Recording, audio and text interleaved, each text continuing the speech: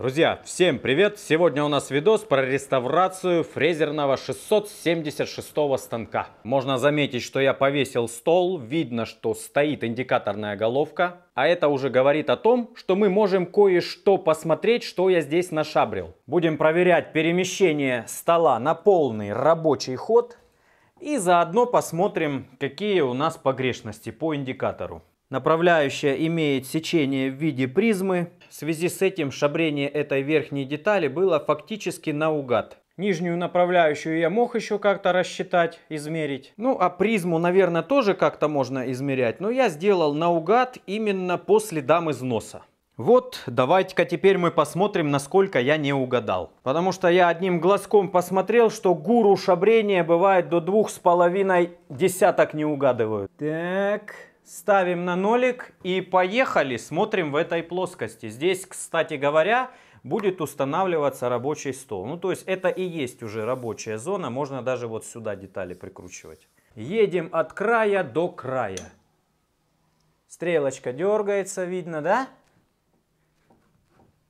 Ну, видно, что, наверное... А нет, вот если здесь прижать к основанию, просто оно уже оттопыривается, то видно, что никуда ничего не уехало.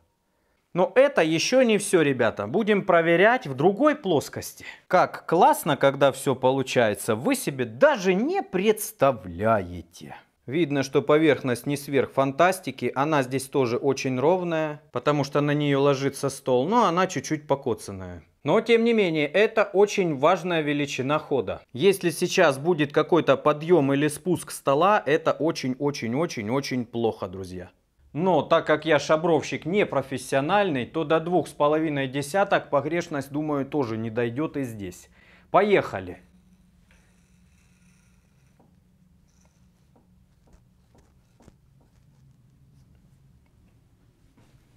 Две сотки. Поехали обратно. Тут важно туда-сюда прогоны делать. Сотка, если до края не доводить.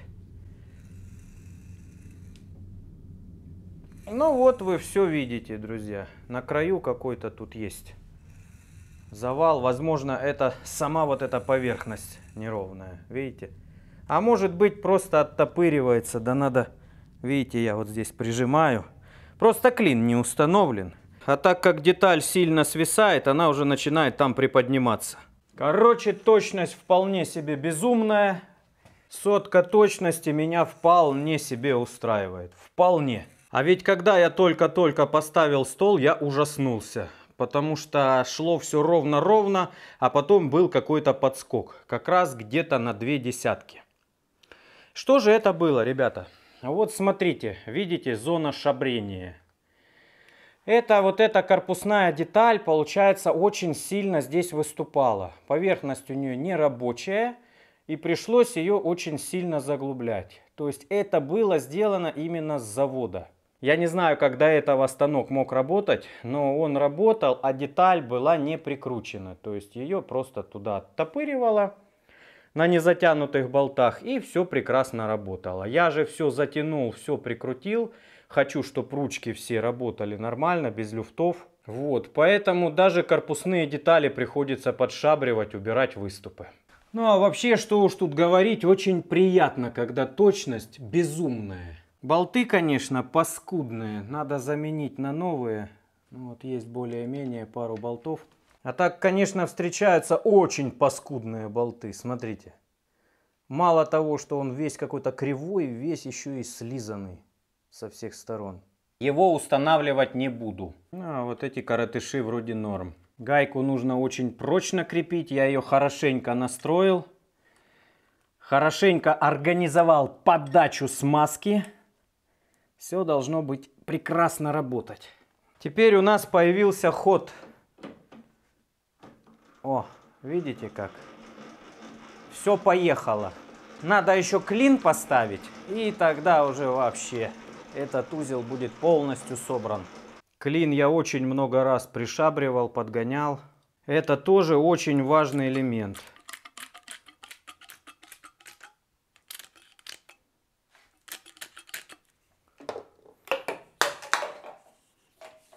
Так. Важно на этапе сборки, чтобы никакие мусорины не попали. По идее, уже скоро мы должны дать первую стружку на этом станке. При износе направляющих, чтобы подтянуть клин, нужно вот эту шайбочку укорачивать на токарном станке. И тогда клин можно сильнее затянуть. А так затягивается все до упора, друзья. Потому что клин не должен гулять. Если он будет гулять, он будет в ту или иную сторону закусывать немножко. То есть в одну будет расслабляться, а в другую закусывать. Ну вот сейчас все отлично настроено, все работает. Перед тем, как вам показать, я, естественно, много-много раз подрезал эту шайбочку. Стало так плотнее ходить. Главное, чтобы ходила равномерно, нигде не закусывала. Это говорит о том, что клин сделан равномерно, направляющие равномерные. А то, что они точные, вы уже видели по индикатору. Так, ну и еще раз ускорено уже в собранном виде. Погнали. Так, вот он 0. Видите? Вроде выставишь 0, только стронешься, а он уже... Во, вот он 0. Все, поехали. Вот так гуляет стрелочка.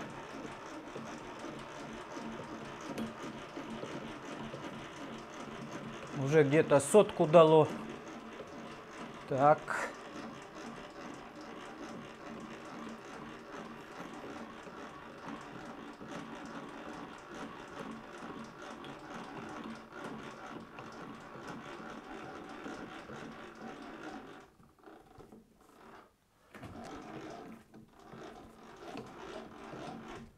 Все, уперлась. Здесь сотка. Там был ноль, по идее. Ну, вот так, ребят. Дальше извращаться не буду, вы уж меня извините. Это опять надо все снимать, корректировать. Остальные элементы подвижных частей тоже в допусках, тоже все прекрасно.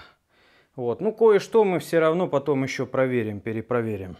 И надо вот здесь я обнаружил непокрашенные места, надо все же их покрасить кисточкой. Краска уже подстыла. Вот так я быстро реставрирую свой фрезерный станок. Но зато с чувством, с толком, с расстановкой. Вот этот ляпух мы выкинем. Так, на дне вроде бы осадка нет. Хорошая красочка. Все, красим.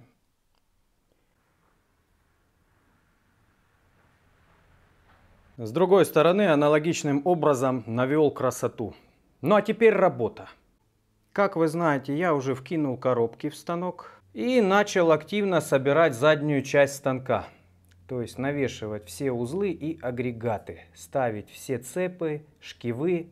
Движок уже установлен, вон там он расположился, у него имеется шкив, шкив довольно-таки неплохой. Но вот ответный шкив очень плохой. Во-первых, он болтается на валу, болтается очень жестко, я бы даже сказал жестоко. Ну, тут где-то, наверное, полмиллиметра люфтец такой небольшой. Но это еще не все. Другая часть вала, которая с обратной стороны, должна контактировать с демпферной муфтой. Здесь все это дело красиво садится на шлицы. Но проблема в том, что шлицы уже некрасивые. Вот смотрите, какая выработка на шлицах. Тоже огромная конская, здесь где-то полмиллиметра. Потом смотрите, посадка под подшипник, как доработана. Видите? Немножечко накернено, увеличен диаметр. Ну, честно говоря, подшипник очень хорошо держался. Смотрим с другой стороны. Здесь под подшипник все нормально, но здесь зато накернено под тот самый шкив. Но там это не спасает, потому что там полмиллиметра. Ребята, видно, в себя поверили, решили накернить, но не помогло. Поэтому, друзья, я начал точить новый вал. Вот он какой. Конкретно сейчас жду, пока он подостынет, чтобы замерить шейку под подшипник. Потому что при нагретом нельзя измерять, она немножко изменяется в размерах. Точнее, размер на соточку, на полторы уменьшается обычно. Поэтому я опять же обычно делаю побольше на соточку на две, а потом жду пока остынет и замеряю. Решил я со шлицами не возиться и вал сделать гладкий. И может быть даже вот эту ответную часть демпферной муфты приварить намертво. Раз этот станок раз в 40 лет разбирается, то в принципе в следующий раз можно будет точно так же это все дело переточить и переделать. В общем, такие дела. Опять нужно переделывать целый узел. Подшипнички старенькие не очень уже. Надо поменять. Вот, кстати, надо их сейчас взять с собой. И я обычно с утречка еду в магазин подшипников, покупаю новенькие. Вот, и потом все это дело устанавливаю. Вал будет из стали марки 30 ХГСА, то есть хромансиль. Очень прочная сталь. Не хочу закаливать просто вал, друзья. Хочу сделать сразу просто с прочной стали и без закалки. На чисто при желании очень красиво можно обработать. И стружечка такая волшебного цвета идет. Красивая очень. Когда такой точный станок, вообще расслабляешься, перестаешь думать, что конусность какая-то может быть.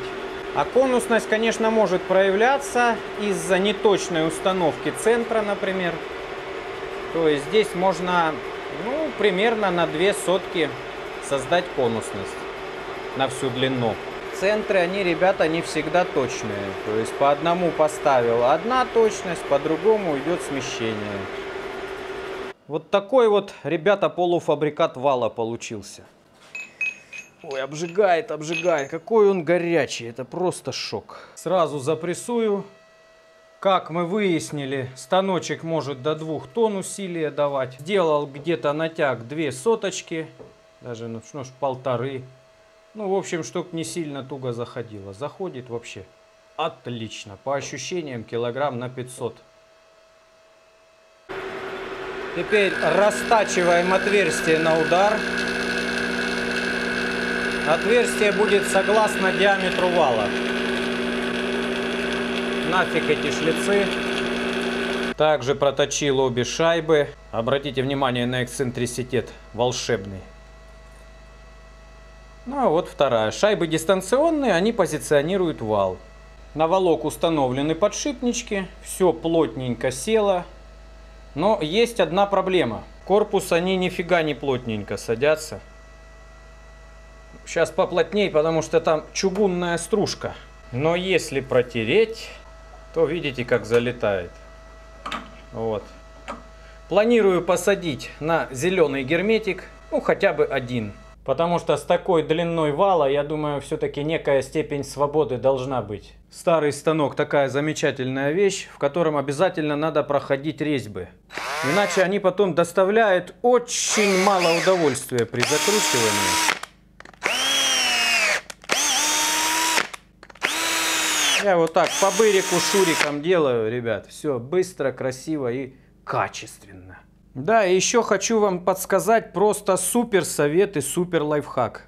Это вроде бы не очевидно и все очень просто, но надо также еще зинковать отверстие. Я уже не говорю, чтобы делать небольшие туннели туда внутрь резьбы, но хотя бы зинковать, потому что всегда вспученная резьба, всегда, ребят, 100%. И всякие крышечки, которые потом туда прикручиваются, они не очень-то и прилегают. А так все отлично. Но я думаю, вы замечали, что вспученная бывает резьба. Мало того, вот здесь тоже вспученные края отверстия бывают. Кто же бы зинкануть не мешал? Да, сейчас зинкану. Это очень быстро, поэтому не стоит пренебрегать столь важной операцией. Все-таки я собираюсь здесь кое-что заваривать, и надо просто ультра качественно собрать.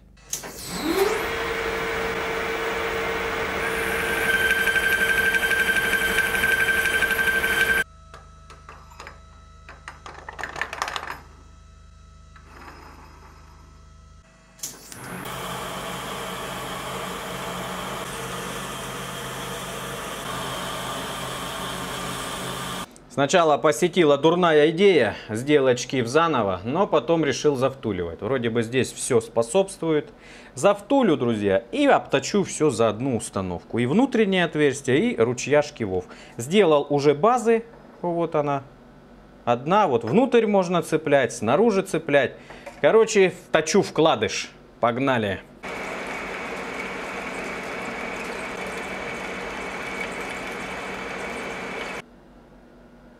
Понеслась прессовка.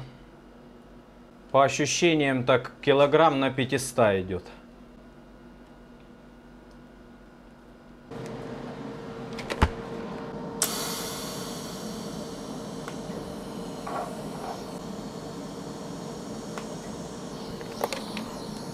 Ну что ж, могу со всей ответственностью заявить, что завтулено и сварено на совесть. Мало того, даже нет цветов побежалости внутри, то есть там ничего и не закалилось при этом. Обрабатываю все поверхности за одну установку. Внутренний диаметр надо подобрать очень точно. Ну а также ручьи под шкивы. Зажал вот так вот и смогу это все сделать успешно и красиво, ребята. Вот мне нравится, когда уже идет к финалу. Вы себе даже не представляете как.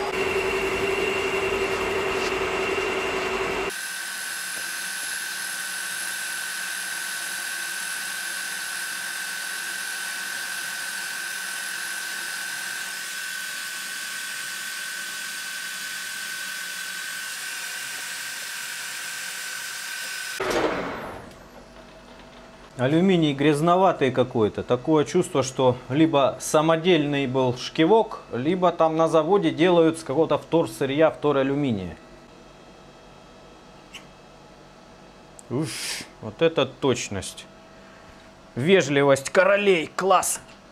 К сожалению, потерял я свой самодельный резец. Теперь приходится универсальным равнять.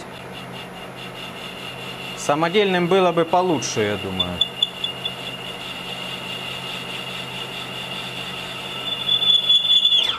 Так, ну вроде бы по глубине одинаково. Зацеп тоже имеется.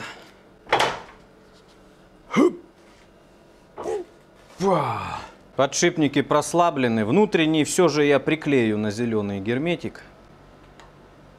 Делается на века. Поэтому я думаю можно. Вы мне разрешаете, ребят, это сделать? Или нет? Нет.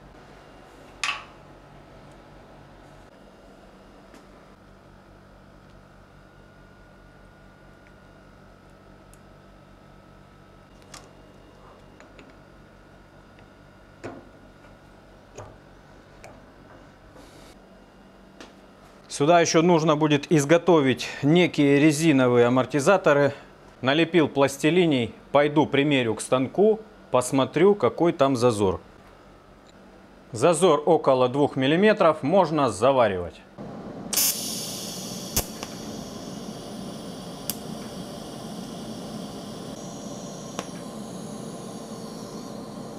Есть контакт, сварочка готова. При желании, если кому-то в будущем очень уж понадобится, можно будет токаркой разобрать. Повставлял пока временно резиночки от шланга. Вот. Но, скорее всего, придется что-то заказывать, друзья. У меня там полиуретановая трубка толстостенная идет.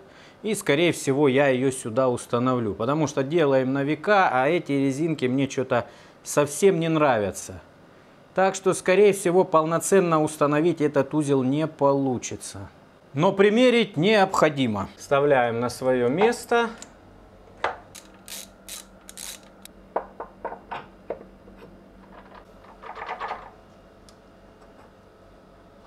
Жаль, что из-за резинок придется все это опять разбирать, к сожалению. Но ничего не поделаешь, резинки не скоро придут. Так, ну как я боролся с натяжителями цепи, я уж вам не буду рассказывать, ребята. Но опять же, пришлось переделать один из таких элементов, так сказать, сделать по уму. Здесь все болтается, все шатается. Вытачивал новую вот такую пипку. Вот. И делал вот эту штуку более длинную. Короче, все уже готово. Цепура натянута. Вот такую натяжку сделал. Не очень большую. Ну, короче говоря, по мотоциклетному. Шкив готов. Теперь хочется сделать что-нибудь приятное и что-нибудь существенное. Например, можно подкинуть провода на мотор и стартануть двигатель. Либо распаковать вот эту вещь и установить ее на станок. Но что-то я не нахожу болты от головки. Возможно, они внутри. А вроде бы она не такая уж и тяжелая, и можно будет в одно лицо установить. Хотя полной уверенности в этом, конечно же, нет. Наконец-таки вы увидите на 676 фрезере конус ISO 40. Это довольно-таки большая редкость. Да, вот здесь болты. А я их ищу, ребята. Вы не представляете. Ох, как плотно крутится. Что там за смазка внутри адская налита. Ну а вот и великий и ужасный конус ISO 40. Давайте попробуем вставить санговый патрончик. У меня есть миниатюрненький такой мумумушный цанговый патрон. Хоп. И все, и дома.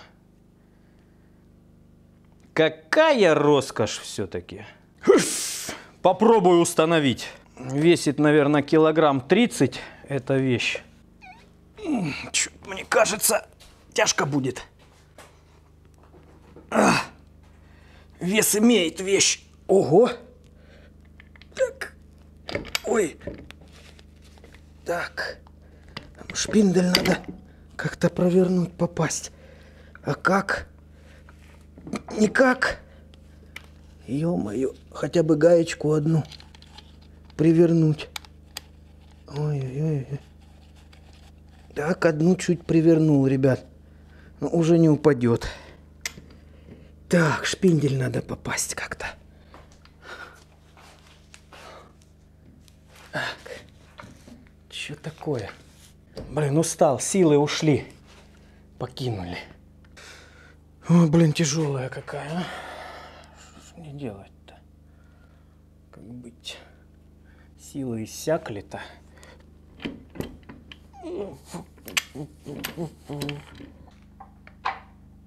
Оп, все. Есть контакт. Эх, похоже с этим видео все, ребята. Хотя я вам еще хотел показать, как запускается мотор и как здесь хотя бы что-нибудь начинает крутиться. Оказалось, короче, что мотор подключен треугольником, надо его переводить в звезду. Короче, вырубается генератор, не тянет он когда подключено треугольником, включение на 380, потому что треугольник обычно на 220 служит. А так слишком уж гигантские токи, и он тупо не запускается. Вырубает автомат, все. Ребята, такие дела. Я тут уже начал ковырять, обмозговывать, как бы это поудобнее здесь все переключить так, как мне надо. Все эти телодвижения, похоже, будут в следующем видео.